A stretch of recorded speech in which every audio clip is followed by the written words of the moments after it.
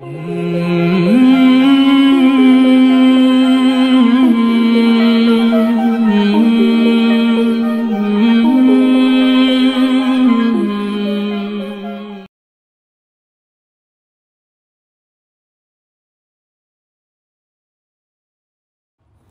वालेकुम वरहमतुल्लाहि वबरकातुहू जिन्नात की हाज़िरी और सवारी से मुतक़ मैंने मुख्तसरा आपको पिछले दर्स में बताया था।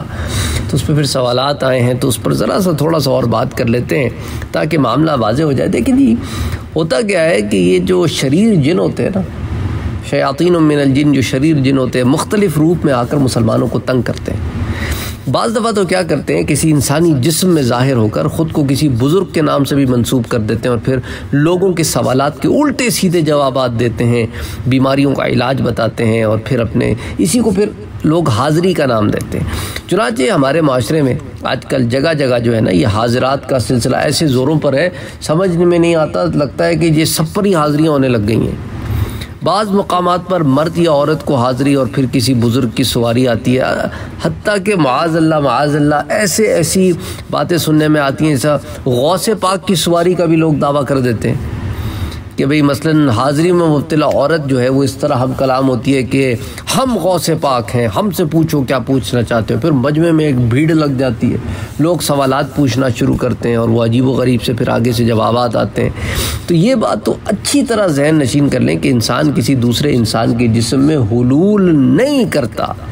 ज़रा सोचो तो सही यार, बुज़ुर्गान दीन, वो उन्हें क्या ज़रूरत पड़ी है कि एक माज़ल्ला माज़ल्ला सारी ज़िंदगी जो पर्दे का हुक्म देते रहे कि पर्दा करो पर्दा करो, अल्लाह और उसके रसूल ने यह हुक्म, वो किसी औरत के बदन में आ जाएँगे अस्तफ़िरल्ला तो इंसान जो है ना, वो इस तरह हलूल नहीं करता अपने जहन से बात ये होता क्या है कि ये जिन्नात होते हैं और बाल ढोंगी भी होते हैं, दोनों कस्म के होते हैं। तो इनसे जो है ना, जो ज़यीफ़ुलतक़ाद लोग होते हैं ना, बड़े मरूब हो जाते हैं इनसे और फिर इनसे जो है वो मामले रखते हैं। इस तरह जो है बहुत सारे लोग जो है ना उल्टे किस्म के दावे करते हैं। हम बगदाद शरीफ से आते हैं और जनाब गौस आज़म के कदमों में हमारा मज़ार है।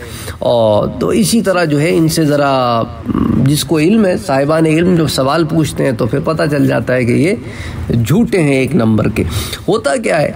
कि लोग कहते हैं कि भाई, ये तो बाबा तो हमें जी अच्छे बात, अच्छी बातें बताते हैं, वज़ाइफ बताते हैं। तो उसका फिर ओलमा ने जवाब दिया कि भाई, देखो ना बाद लोग होते हैं ना, इंसान होते हैं, नफ्स होता है, उनको अच्छा लगता है, उनके यहाँ बहुत सारे लोग जमा हो जाए ना तो वो अपने आप को बड़े इंपॉर्टेंट समझने लगते हैं। सोशल मीडिया पर तो आप देखें यही हाल लगा है जहाँ भीड़ ज़्यादा है वहाँ शोर ज़्यादा है।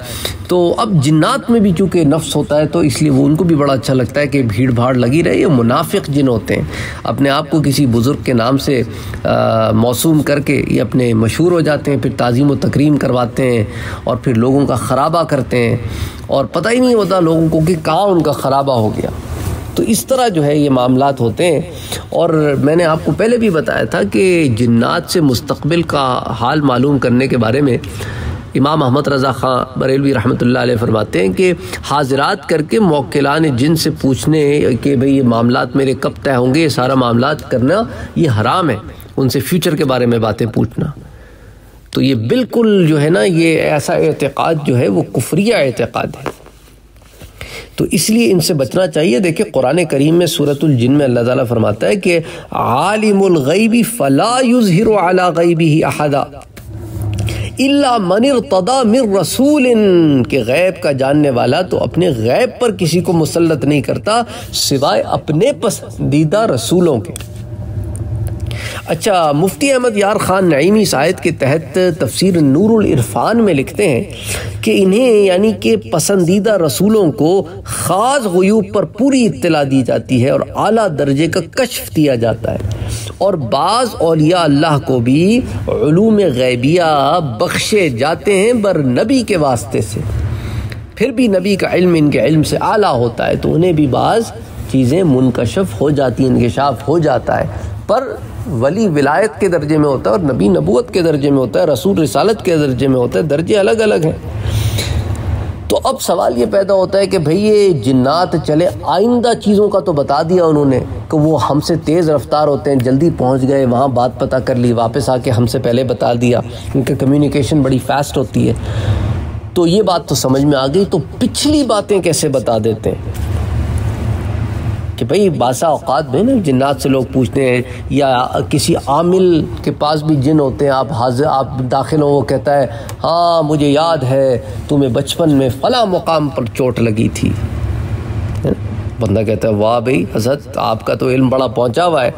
तो ये क्या होता है कि ये बातें ना, वो हाज़री का जिन जो उनके पास हाजिर होता है ना, जिन, जिस जिन से उनके ताल्लुक होते हैं, वो आपके हमजात से पूछ लेता है। हमजात तो बचपन से आपके साथ होता है, उसको तो एक एक बात रटी हुई होती है।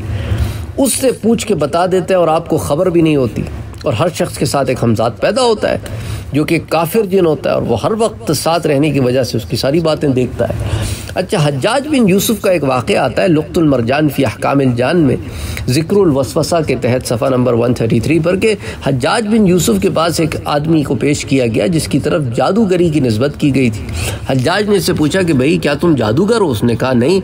तो हज्जाज ने कुछ कंकरियाँ लीं और इनको गिनने के बाद मुट्ठी बंद कर ली और पूछा कि, बता मेरे हाथ में कितनी कंकरियाँ? उसने कहा, इतनी और इतनी। तो हज्जाज ने इनको फेंक दिया। फिर एक दूसरी मुट्ठी भरी और इन इस दफ़ा कंकरियों को गिना नहीं। फिर पूछा अच्छा अब बता मेरे हाथ में कितनी कंकरियाँ हैं? तो उसने कहा, ये तो मैं नहीं जानता। तो हजाज ने कहा, भाई, तुझे पहली तादाद कैसे मालूम हुई और दूसरी तादाद क्यों ना मालूम हुई? तो वो कहने लगा पहली दफ़ा जब तुमने कंकरियाँ उठाई थी तो तुम जानते थे कि तुम्हारे हाथ में कितनी कंकरियाँ हैं। तो आपके वसवास ने, यानी वसवसा डालने वाले को भी इल्म हो गया, क्योंकि आपने भी गिनी तो उसने, उसको भी इल्म हो गया। फिर आपके वसवास ने मेरे वसवास को बता दिया, और ये दूसरी मुट्ठी जब आपने भरी ना तो आपने ना गिनी तो आपको भी इल्म नहीं था, आपके वसवास को भी इल्म नहीं था। तो जब मेरे वसवास ने उससे पूछा, यानी मेरे जिन ने उससे पूछा मेरे हमजाद ने तेरे हमजाद से पूछा तो तेरे हमजाद को ख़बर ही नहीं थी तो मेरे हमजाद को क्या बताता? तो उसने भी मुझे कोई ख़बर ना दी तो मुझे भी इल्म ना हो सका। तो ये इनकी शोबदेबाजियाँ होती हैं।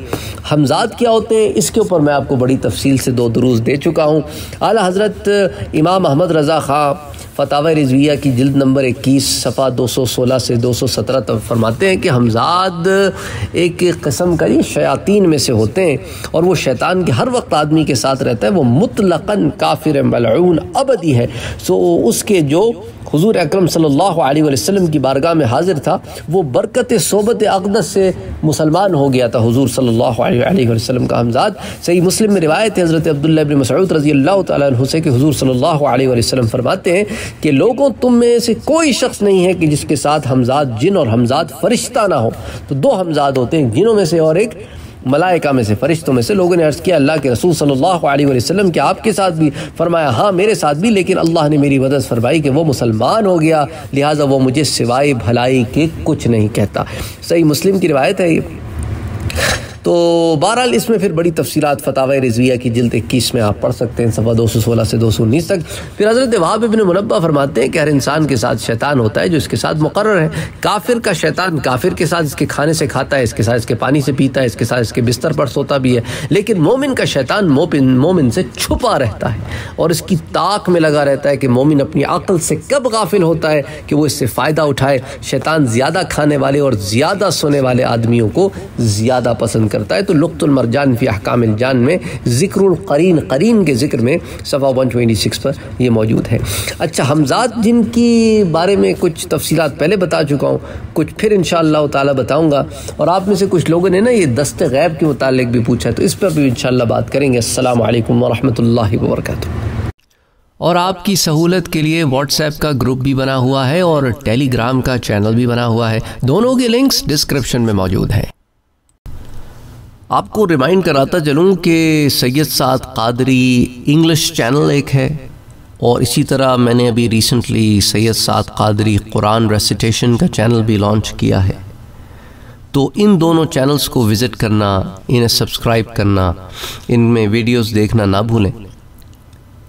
अगर आपने अभी तक हमारे चैनल को सब्सक्राइब नहीं किया है तो सब्सक्राइब का बटन दबाएँ, बेल के आइकॉन को प्रेस करें ताकि आपको रेगुलर नोटिफिकेशन अपडेट मिल सके और आप हमें हमारे लाइव सेशंस में भी ज्वाइन कर सके। वीडियो पसंद आने की सूरत में लाइक शेयर और कमेंट करना ना भूलें।